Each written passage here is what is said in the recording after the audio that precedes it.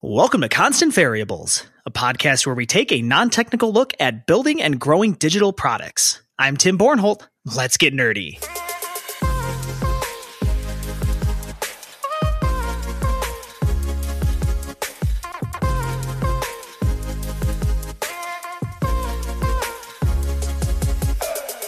A quick note before jumping into this week's episode. We at the Jed Mahonis Group are looking to expand our team by bringing on some more iOS and Android developers.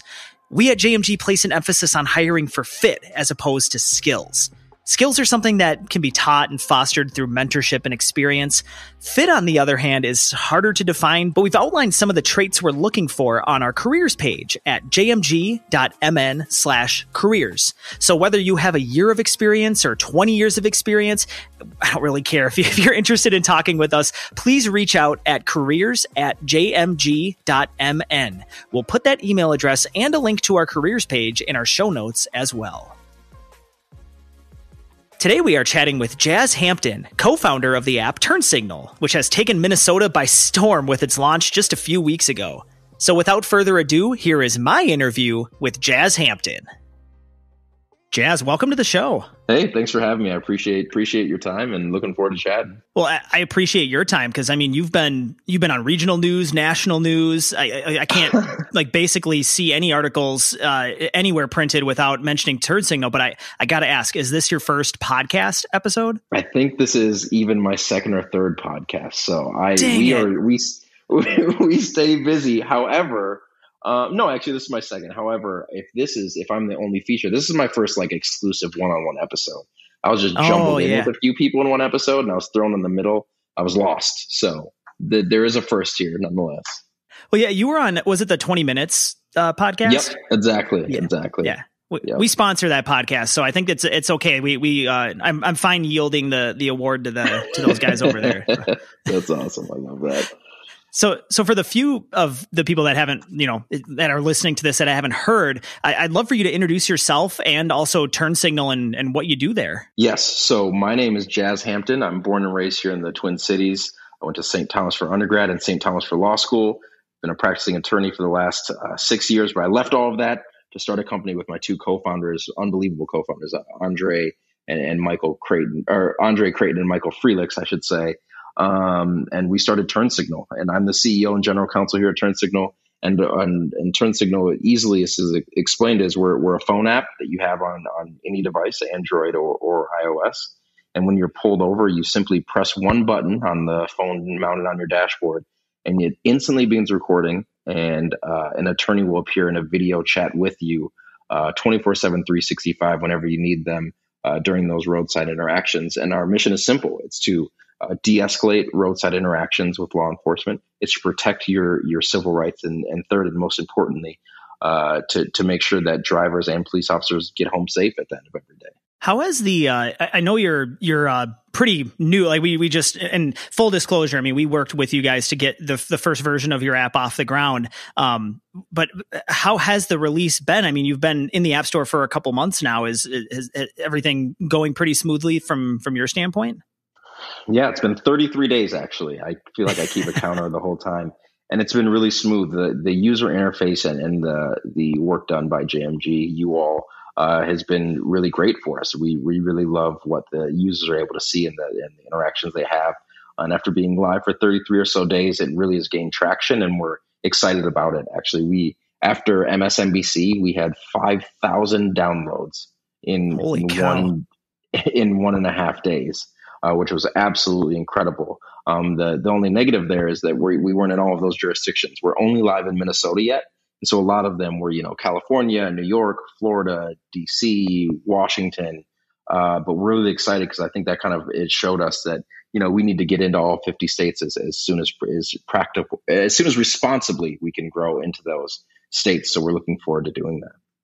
I, I like the the way you phrase that responsibly growing because I, I would imagine that you got quite a bit of uh, people on social media aren't afraid to uh, to call a spade a spade if if they can't use your app or something. I'm sure you heard some Yep. some nice choice words from those people, but uh, the the way that you phrased it of being like responsibly moving into markets is there a reason you started just in one small market and instead of just trying to launch nationally all at once?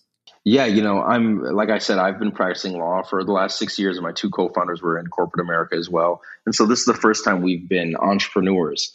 Um, but what we do know as founders is that we don't want to have a poor representation of our product out there in any way, shape, or form. And one of the favorite phrases I'm going to butcher it that I've heard recently is, uh, if if you were proud of of your your first product, then you did something wrong, right? So on the flip side of that, like there has to be, you know, everything won't be perfect when you launch, but you have to be responsible about it, especially when we're talking about giving legal advice to people who are in, you know, or legal guidance, I should say, giving it to people who are in one of the most stressful moments of their life. Uh, we we have to be responsible about about taking on that that ownership of that interaction. So um, I'm, I'm looking forward to to doing it. And if we aren't ready to be in a jurisdiction, if we don't feel like there's enough attorneys to answer, we just can't be there. Um, but we know that you know we have a, a, lofty goal of getting into 10 more states before the end of December. So uh, we're excited about the the rate at which we believe we can grow.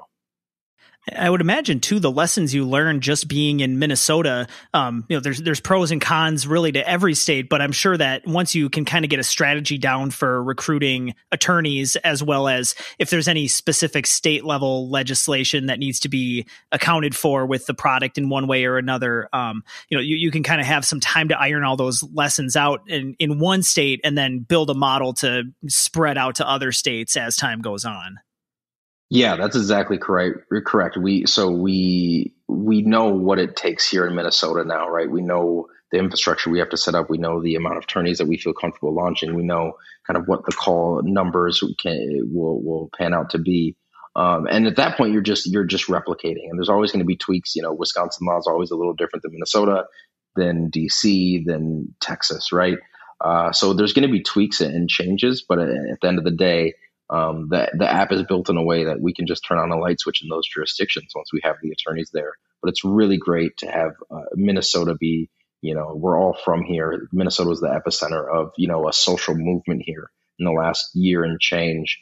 Uh, so we're proud to start it here and then and grow to the rest of the country. And uh, recently request to grow beyond the borders of this country. So exciting stuff. I think a lot of times, you know, we, we get approached with app ideas and it's hard for me as a an app developer to kind of understand the market and it takes a little bit of digging before I can get and this is like, you know, if you're talking about like some highly complex business problem in some, you know, manufacturing industry or something, you know, like that where it takes some time for me to wrap my head around. But this product, like the second that I saw that that's so, like Jazz and I grew up in the same city. We we both went to Richfield uh for, yep. for you know, part of it. Uh and, uh, and, and, I'm the traitor that went to private school.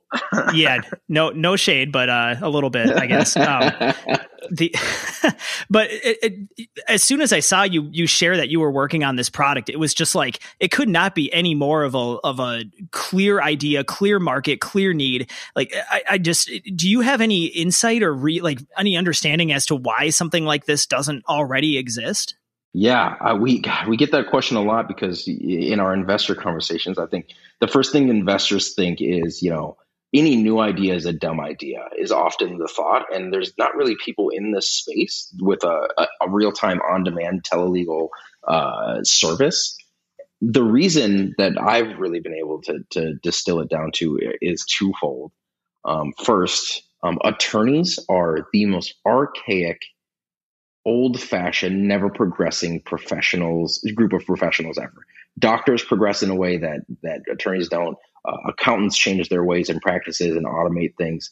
Everyone does except for attorneys. It, I mean, the billable hour system has been in, in place for how many centuries, right? Um, but changing the model is is something that doesn't happen. There's not much disruption in the attorney field. Um, and and so you know, not not many attorneys are entrepreneurial in that sense.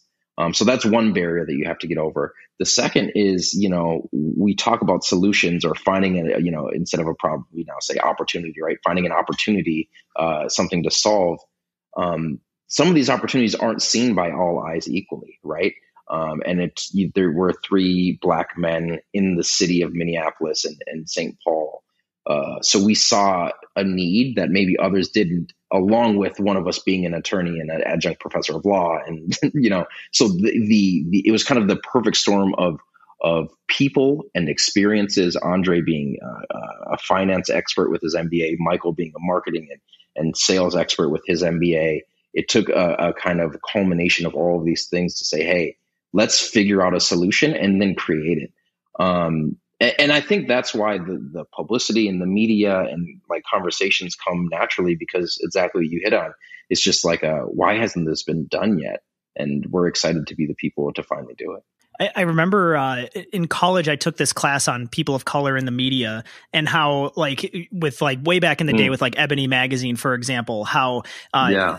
before they launched so many people were like oh there's no way that this is going to succeed and and the and the people that were saying that of course were like 70 year old white dudes and right, it's like right. well yeah clearly you're not the audience for this and I think a lot of times in you can see this represented in VC money and with investors is like the, the representation of people of color is is just so abysmal that uh, I, I, can imagine that there would be so many people that would just have this idea completely pass by because you know me myself if I get pulled over by a police officer I have different feelings than you you know? Like it, it's just that's mm. the way it is. And so I wouldn't have even thought like it'd be really nice to have an attorney on board and and, and you know and and protecting me and and also protecting the police officer at the same time. I it, it just it, it baffles me like that uh it, when I when I saw, took that class in college and I realized like when, when she was explaining that of how uh, there's so much untapped market and so much untapped potential if you just listen to other people's problems and not just worry about your own problems you know?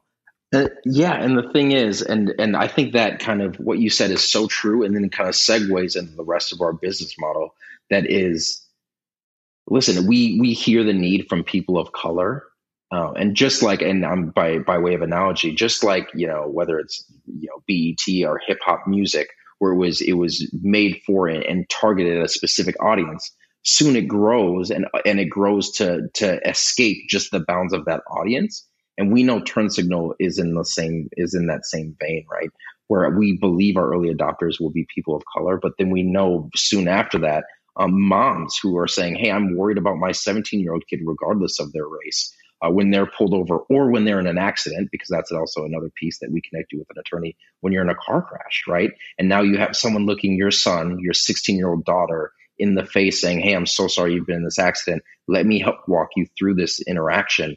Now we're talking about a user base that is growing so much more. I can't tell you how many parents that have talked to me and said, Oh, yeah, you know, my child isn't a, a person of color, but I want them to have this on their app because I want to make sure they're safe when they're driving. Um, so we know that there's a foothold. And now we can say to the rest of the market outside of just the people of color, hey, this is why we add value to you as well. You know, you mentioned earlier that you've got uh, there's three co-founders in this business, and uh, I know having a co-founder myself, sometimes the the line and how you delineate responsibility and kind of share the stresses that come with with a, a rocket ship startup can can bring. Um, how do you determine like splitting all those different responsibilities to make sure that the app gets built and the revenue models get calculated and the advertising happens? Like, how how do you balance all of those responsibilities? You know, I think because we have such, we have three really different sets of, of skills. Uh, 85 to 95% of it really fall to different people really um, organically. So, you know, obviously the law stuff or anything having to do with lawyers falls upon my shoulders. Um, but, but I can't do a P&L for the life of me but Dre can, right? So all of these finance questions kind of fall to him. Uh, Michael with his expertise in sales, right? And we, I, am sure we'll touch on here in a little bit, kind of the B2B model that TurnSignl really is thriving upon. I don't have any sales experience, but Michael has been in sales for the last six years. Um, so that naturally falls to him. So we always, we, our text thread is called the Telelegal Avengers because we all are like different people with different skill sets, right? Like I'm not putting on the Iron Man suit. That's Dre, right? So, um, so it, that 85, 90% of it falls in organically that way. And the rest, I mean, Michael and Dre have been best friends since they were four years old. I've been close with, with Michael since we were in, in undergrad at St. Thomas together. We operate as friends and we're like texting. We're always talking. It's like, yo, Mike, like this is too much for me this week. Can you please just take this meeting? And he's happy to do it. And he's happy to take it, you know, and run with it, you know, all the ongoing communications or just, you know, pinch it for me that day um, and being able to be you know people that you really care about uh, and you know if i have to go home because my wife needs me and, and Dre can cover uh, it helps a lot and i think I, I couldn't imagine running a business with people that frustrated me because it just it wouldn't be doable in the way that we have to do things, even for that minor 15 to 10 percent of the of the tasks that fall to us. I think that kinship really comes through like whenever we deal with you guys and just seeing it uh, in, in, your interactions together. Whenever we talk with co-founders and, and with entrepreneurs and teams of, of founders, uh, you can tell early on whether they're going to be successful or not just by the way they interact with each other. And there's, there's teams that where it's like, it's kind of like it's kind of like the Avengers, but it's kind of like if it was more like a uh, when you piece together an all star team for like yeah, football yeah. or baseball, like where it's like someone's not a role player. You got you got all stars on the court and it doesn't work. Too much ego and not any synergy between those tasks. Yeah, exactly. Mm. So I I, I appreciate yeah. that about about you guys. That that does make uh, makes things easier. Which if if you were an Avenger, which one would you be then? Because you said you're not putting on the Iron Man suit. So what's which what suit are you putting on? Oh, that is like literally my favorite question I've ever been asked. Um, and and honestly, it would have been Iron Man, but they would have been like, "Yeah, you have an ego for it. That makes sense. You want to be Tony Stark." So I'm I'm going to intentionally avoid that, and I will say that I am Doctor Strange. I, I, that's who I was going to pick for you too. I was thinking Doctor Strange, just for I don't know why, but that when you were mentioning the Avengers, I was like, "Yep, that makes sense." That's, and I guess it'd be because like I don't know. I just whenever something's like frustrating or like something's really hitting the fan, and like we're trying to figure something out, and it's like, what are we going to do?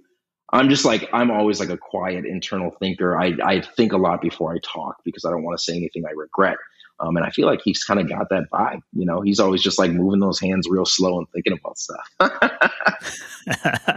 I, I'm just really yeah. glad that I'm in the host seat and I'm not going to give you an opportunity to try to punt that back on me because I have no idea what answer I would give for, for being the Avenger. So, oh my God. You're, you're, uh, you're whoever Samuel L. Jackson is. That's who you are.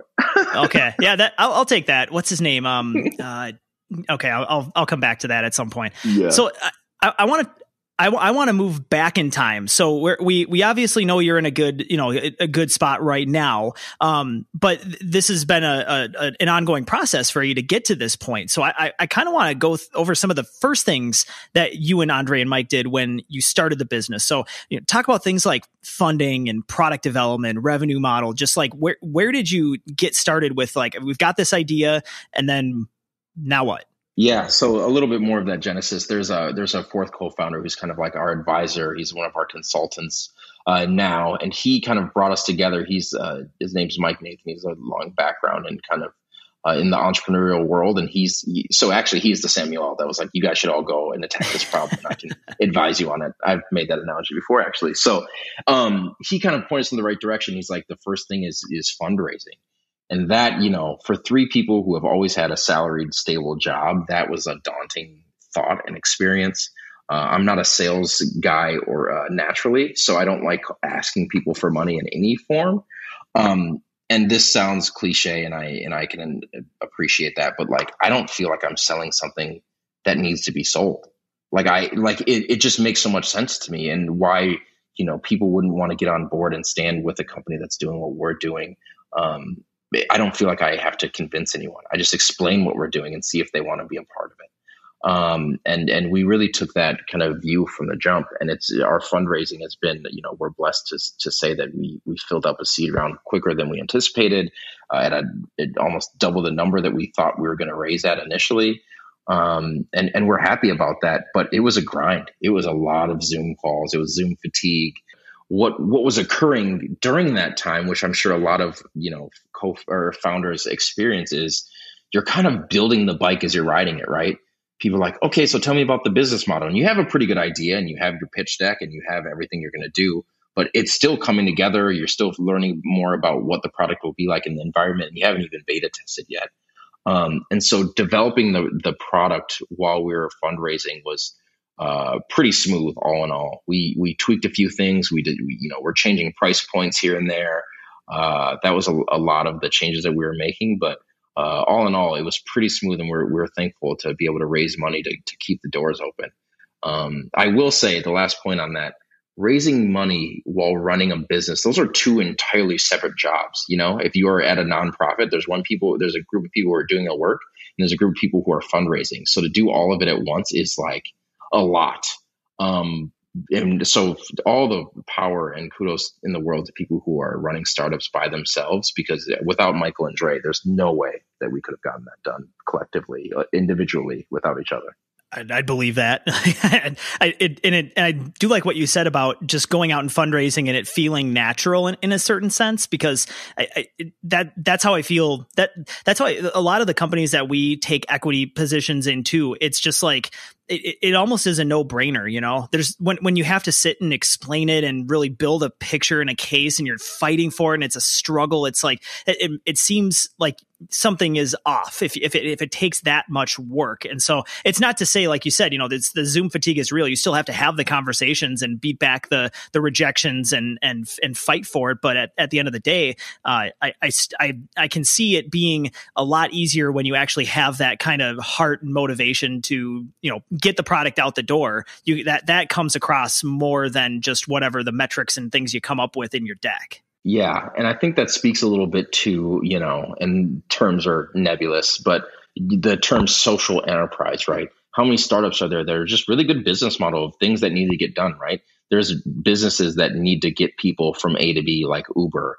Um, but it's but when you hear about Uber, it doesn't like warm your heart or give you relief about you know a, a, larger issue that's being resolved right? I guess drinking and driving that is very true. But you get you get what i'm saying. It's this is solving a real need that everyone is seeing like on a very personal level especially over the course of the last year.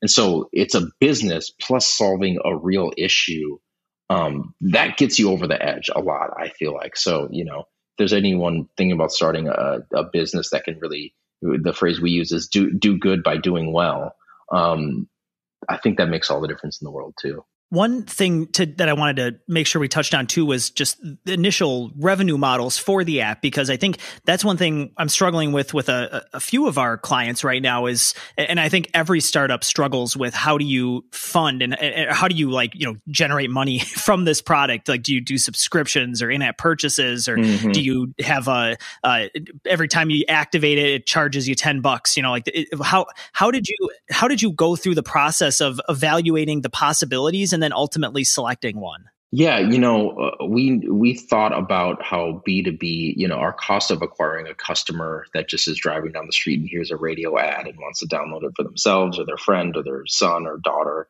Um, that's that customer acquisition cost is about five times that of a business that'll come in and say, "Hey, I'm going to provide this as a benefit to all of our employees, um, part of our DNI strategy, part of our employee wellness strategy, whatever pillar you want to put it in."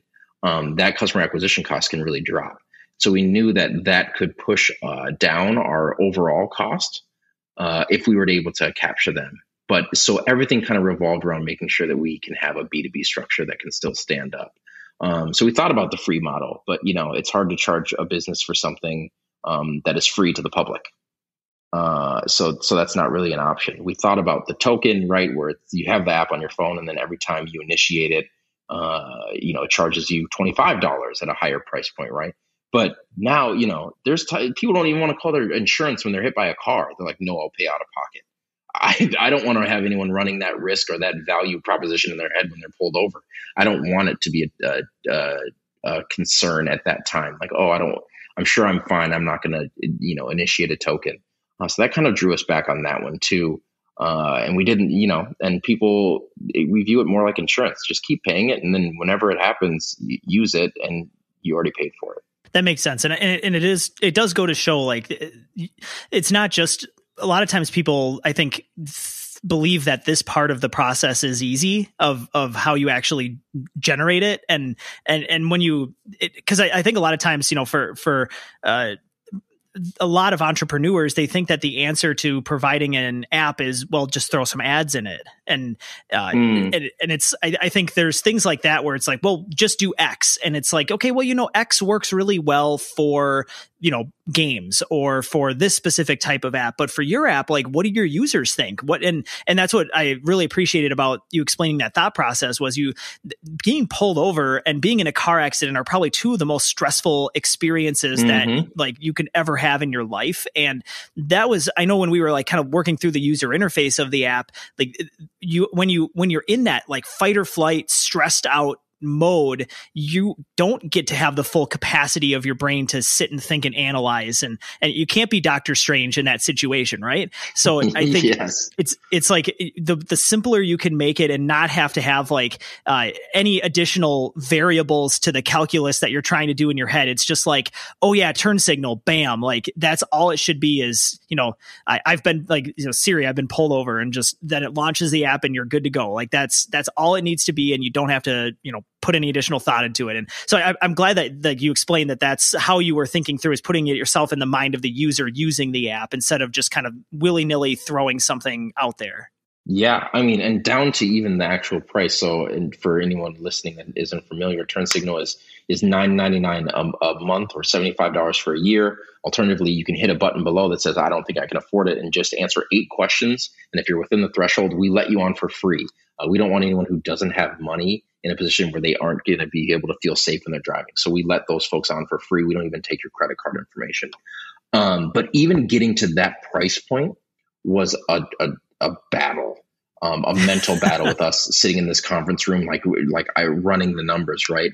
Um, and we actually it got to the point where we hired an expert in it. We spent some of our early value cash on on having a professional survey organization go out and find out what the price point is that would make people feel comfortable um, paying for it. And we learned a lot from it. One of the things we learned is if we price too low, people would think these aren't even real attorneys or they're the worst kind of attorneys or the lowest quality attorneys. So there's even a value proposition that is added to how much we're charging.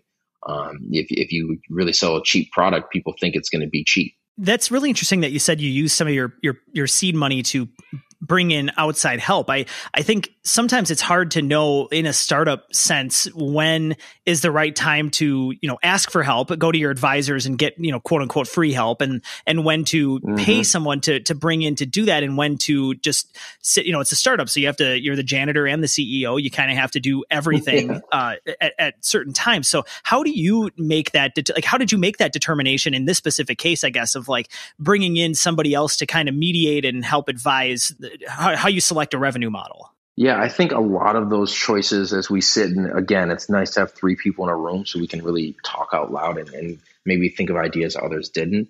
But a lot of it is is I think about, you know, I'm being a little hyperbolic, but um, unfixable damage and going out into a market and pricing at, at 199 when you found out that's too low and it should have been 1299 you can't make the jump then right? Like I can't be a product that's 199 that goes up to 1299 without adding significant, you know, enterprise value or changing the service, right? Uh, only, I mean, hell, people get pissed when when Netflix goes up a dollar, right? You know, and and we all spend 20 hours a day on Netflix, at least in my house. Um, so so if it's going to do irreparable damage on some level, I don't want to guess at it. Um, and and if I make a choice and it's based on statistics and, and information and, and expertise and it's wrong, then I did everything possible to, to make the right choice and, and it just didn't work out. Uh, but you know, uh, what is the? I think it's Zig Ziglar is a quote that's like, uh, if you if you don't know what you're aiming at, you'll hit it every time. Like if you you know if you if you like, I can't just shoot in the dark and hope I'm right, because um, I won't be. No, that's that's I I love that. So we've we've been talking about how you kind of have a, a direct, you know, B two C play of going from yourself to individuals who, again, you can go right now and download it from the App Store or Google Play. Uh, but I know that you're working on bringing this to businesses and making more of a B2B play so that it's a uh, benefit to the different organizations, to their employees. Uh, talk about that initiative and, and just, you know, where it came from and what the interest level in it has been so far. Yeah, so the interest level in it has been really high. Um, in fact, we've had, I, will just say, like we've had Fortune 5 companies, we've Target, an SVP from Target went to our website and filled out the contact us form to reach out to us to learn more about the program. Like who does it, that? It's, it, right. It's, and I was like, I was like, you guys, I think we're getting phished.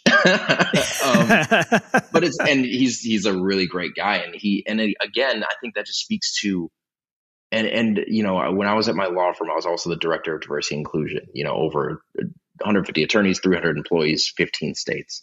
Um, and I know what the DNI strategy was. Right, it's to to diversify your employee base. It's to retain your employees, diverse and, and their counterparts, and then to do community outreach that's really valuable to the diverse communities that need it the most. Um, what and so what I do, and this is not a joke. I, I we meet with a HR, the SVP of HR, senior leadership, the president, whoever it is, and I pull up their Instagram feed and I go to that blackout Tuesday from last winter or last summer. I'm sorry, June second usually is the date. Um, and I pull up the, what they posted on Instagram and I read it to them. Hey, uh, X company is, is, truly disturbed by what we've seen uh, happening to the black community. We're here for them, and we want them to know we're listening and we're, we're a voice that's going to use our platform to to be a part of the solution. I read that to that senior leadership person, and then I say, okay, um, TurnSignl was here in this room offering you an opportunity to fulfill exactly what you're what you're proposing. I want you to provide TurnSignl to every member of your your your company so they feel safe driving to and from work or their kids have basketball tournament on the weekend.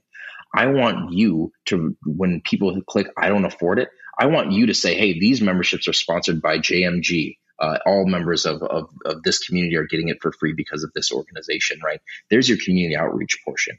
Um, again, just like when I'm talking to investors, I don't, I'm not selling anything. I'm, I'm offering you an opportunity to fulfill what you want to do already. Um, in a clear way that is actual, a tangible solution, not just you know a, a diversity training day with a, a, outside consultant. It's just ridiculous how good you are at this. Like you should you should be doing this for a, for a living. You know, um, yeah, that, it, it's it.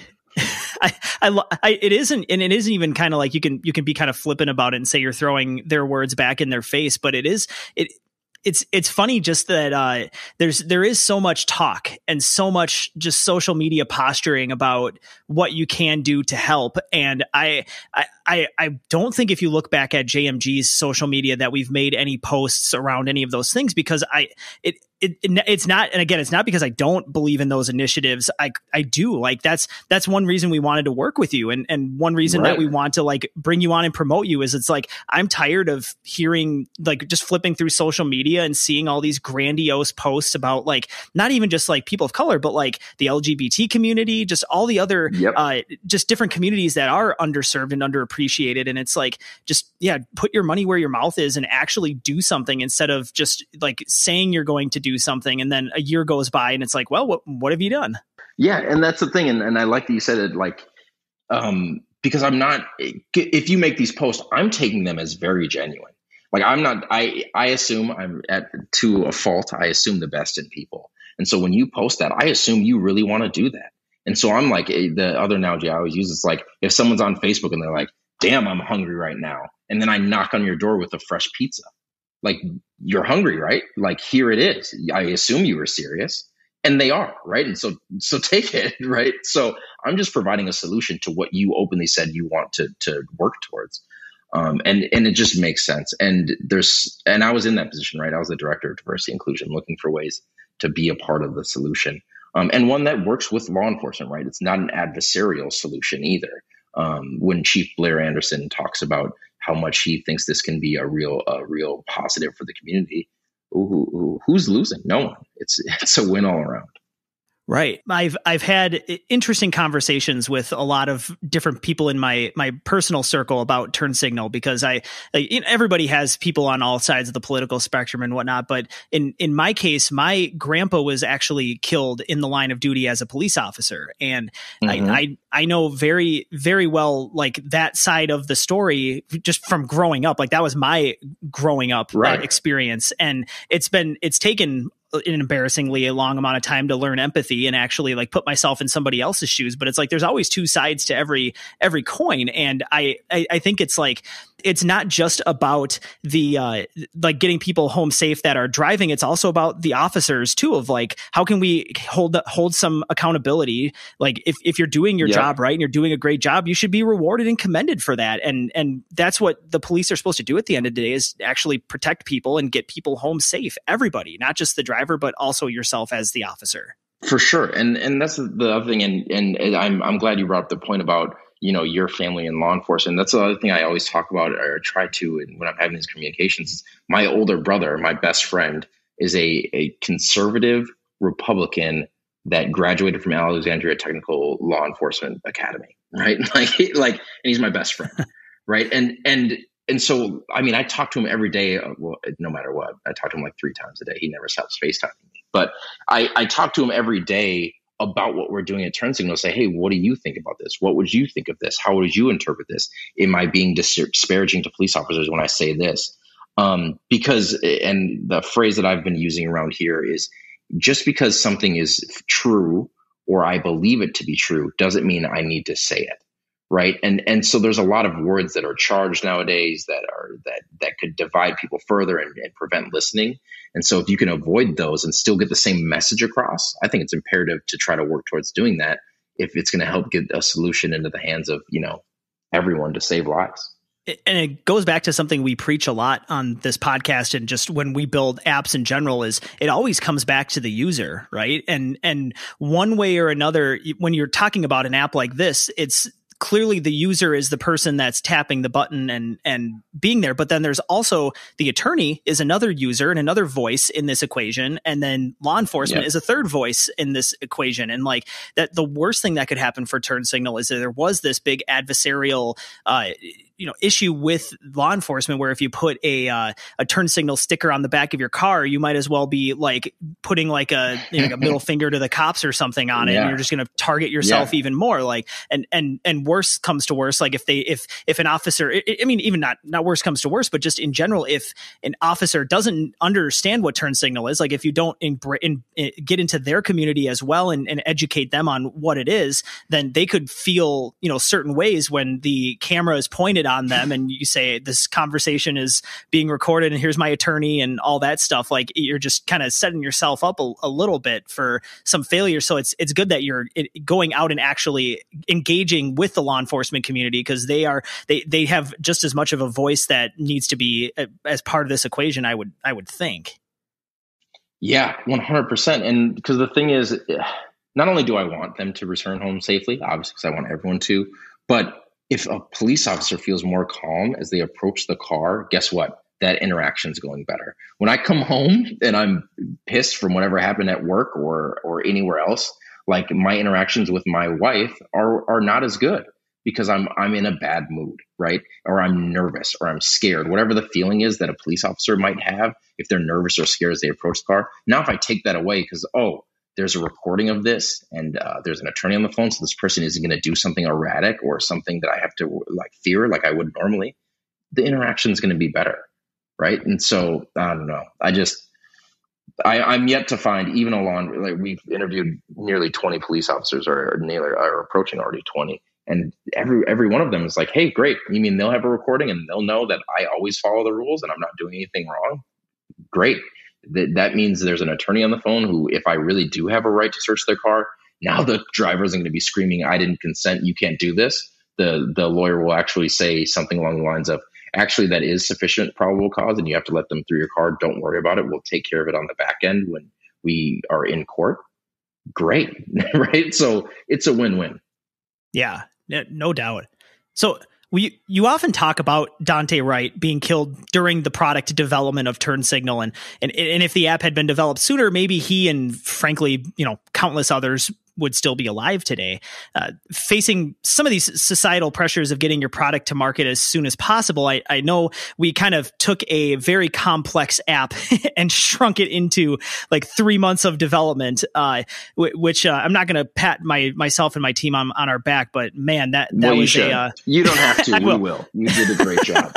it, it was a Herculean effort, but we we did it, and that's that's the important thing is now it is out there and it is helping. Uh, but let's let's move in a different world where maybe you had had a little more time to go through the development process. What might you have done differently? And and, and another side question is what features did you push later because of these time constraints of wanting to get this out the door as quick as we could?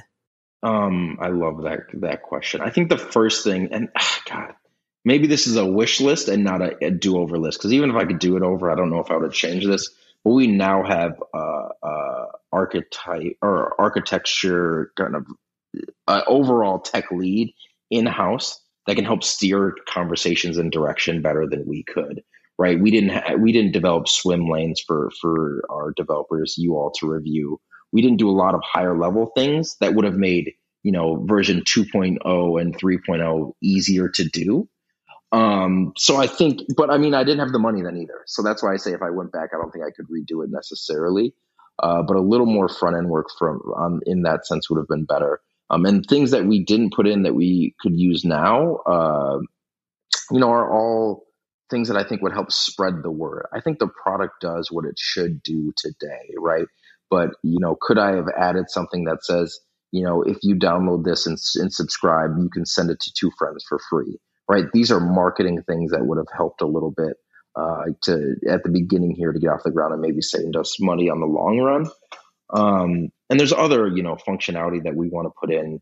Um, but honestly, a lot of it is dependent on lawyers and some of the work we have to do internally. So uh, I feel like our, our opportunities there are, are, a little smaller now. So um, overall, I think, you know, especially with the truncated timeline, I'm super happy with it. And uh, just that, oh, the last thing I would say is uh, our admin portal. Um, our, we made we wanted to make it as as quickly as possible to for the users and to have their experience be good. Uh, but we didn't um, we didn't have all the time in the world to make our experience as good as possible. So I would have been able to build that out a little more if we had a little more time. But at the end of the day, you know, I never know how many. You know, I, this isn't like a water fountain where it has how many bottles you of water you've saved using it. Uh, but I have to believe, you know, in the years to come, I, will I'll sleep good at night knowing that some lives were saved because of TurnSignl. Yeah, it. I think. Uh, um, crap, man, I totally lost my train of thought again. It's it's like hard being in a conversation with a friend of yours, like, and then you want to like say seven things, and then you just like your kid yeah. walks by and like whack. My daughter is like sitting outside the house. I can see her out the window, and there's a strawberry plant my wife has, and she's just like whacking yeah. it and I'm just like, how, how, can you focus like, when like something that hilarious is ha- like? Why are you hitting this plant? What is wrong with you? Oh my god! When I was working from home with the kids, I was like, "This is never going to work," because my son is trying to like electrocute himself over here, playing with like a gum wrapper in the outlet. Like, how am I supposed to work? So I feel that. I feel that's my core. How how have you been managing getting through the uh, the the pandemic with like dealing with family stuff? I mean, this is like a total 180 from what the rest of this yeah. podcast is about, but you know, why, let's just go with it. yeah, no. So you know, my wife is also a full time worker. We have two kids, three and a half and one and a half, and then our third is due in 20 days. So we are like full on busy uh, and, and working from home uh, we ultimately were able to send them back to daycare, which was really helpful. Uh, but the thing is, and actually, this does parlay super well into being a startup uh, with with my co-founders. We did the first two and a half or three months of this remotely. So you know, you have a Zoom call, and you're you're trying to communicate with with what you know what your desires are. The like, let's take the price point conversation you know you that can't be had over emails. It was a it was a barn burner for a week in a conference room for two hours a day right? And so when we were finally be when we were finally able to be back in person it made all the difference in the world and kind of our pace really picked up because i could just spin my chair around and say hey dre what do you think the projections are for you know july and, and august? Um, where it's normally an email that you have to stop and, and it's just way more time consuming. So being in person all vaccinated has meant the world of difference to us as a startup during a pandemic. It's hard with usually we communicate with all of our clients over phone and and Zoom and and remotely, so we're used to that. But even still, internally, you know, the, there was some hard times early on uh, where you do need that in person collaboration, and I think that's just something that we're going to all have to work through together of figuring out what that right balance is. Of I, I don't want to force anyone to go into an office five days a week. Like I, I think those days are uh, pretty much numbered. Um, but mm-hmm. there's going to need to be you know that that right balance for your organization of is it one day a week? Is that enough of being in person? Person or two or three, maybe even four. Like it, it, it really just kind of depends on the uh, on the circumstances. But it's I don't know. It's it's nice to have that flexibility nowadays where you can choose to work from home if you want or choose to go into the office if you want. Yeah, the flexibility is key, and whether it's you know kids swim lessons or a doctor's appointment or whatever, um, the the fear of leaving the office now is kind of uh, put to the side a little bit, which I appreciate. So I know you have somewhat of a technical background with with like in computer science. Um, yep. Did any of that like come into play when developing? Like, how much of that experience did you directly draw on while you were building out an app based company?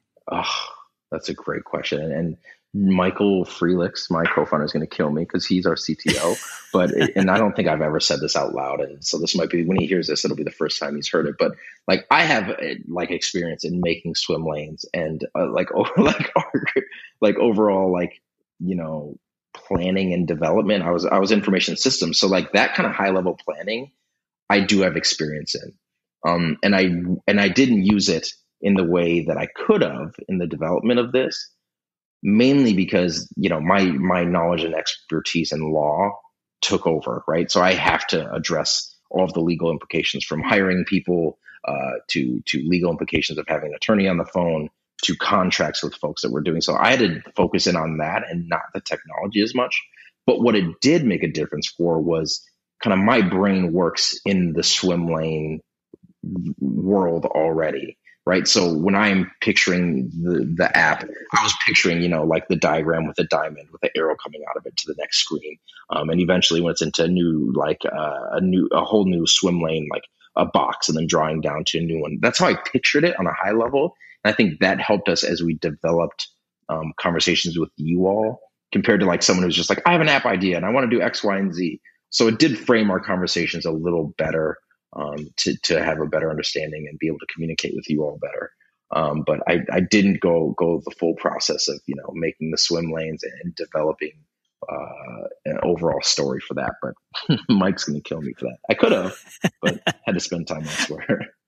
Well, I mean, and that's uh, it, this is like the problem of being a polymath like yourself is if you have so many skills that you can bring to the table, like knowing and choosing which ones to bring to the table and when to delegate, like that's a, a skill in and of itself and a, and a task that most people aren't really great at. And, and, and I know I struggle with that sometimes too. Of uh, it's taken me a long time to even. I'm still kind of uncomfortable with at JMG. I, I oh. rarely touch code anymore because that's there, there's people out there that are better at it than me, and I'm better at like this and strategy and, and yeah. different different things. So I, I, think it's it's interesting that uh, it, yeah, Mike might might be a little upset for a little bit of it, but I, I think he'd he'd get over it knowing that uh, you know you you were doing what you needed to do in order to get the whole rest of the the the system built up, and and there's other people that are better suited to like you know use it when you can and delegate when you have to. It's basically it. Yes. Yeah. I mean, we, I, I, I think I love rap music because I love analogies and that's like all it is. But by way of analogy, it's like, you know, in high school football, there's a guy on our team who was like, he was the best wide receiver and he was the best linebacker. But if he did both, he wasn't the best at either. Right. And so if, if you have to focus in on one thing and maybe plug and play somewhere else, uh, sometimes that's necessary. So you can really, you know, actually fully dedicate yourself to something uh, and make sure you're doing it the right way. I'm sure it's it's it, it, was relatively obvious in this point too, but I think uh, trying to figure out how you lay out these different paths you can take because you like like you laid out with the, with the football analogy, it's like you can pick to be a, a, a, linebacker, you can pick to be a running back. Both could lead to really great careers and great prospects going forward, but like there's always this what if kind of mentality when you do that route of like you know mm-hmm. you go you choose to be a best linebacker or maybe you were like you know top three or something, then you're thinking, well, could I have been the best running back too? And you have this kind of regret yes. as to to which path you should have taken. Is there? Do you feel any of that at, at any time, like when you're thinking of things with TurnSignl? Because since you do have such a breadth of areas you could tap, like, are you happy with just sticking in the lane of being like chief legal uh, officer and and and managing the legal side of it or are there times when you're like oh man i really could have like taken this tech thing and run with it Yeah, I think sometimes even I have those feelings around the actual legal work. So I have the legal knowledge, but almost, and I'm, I feel like this kind of similar to you. I love like, you know, the MSNBC stuff and, and explaining the product to people and, and explaining the value to other folks. Um, that's where I really think I thrive.